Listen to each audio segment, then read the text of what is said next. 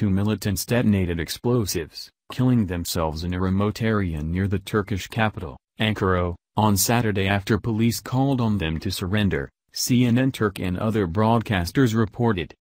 The militants, believed to be a male and female, were suspected of being linked to the Armed Kurdistan Workers' Party, PKK, group and were believed to have been in possession of plastic explosives and 200 kilograms, 440 pounds, of ammonium nitrate, CNN Turk said.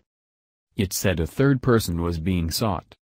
The state-run Anadolu agency said the two militants were preparing to carry out a car bomb attack when the blast occurred in countryside on the road from Ankara to the town of Haymana.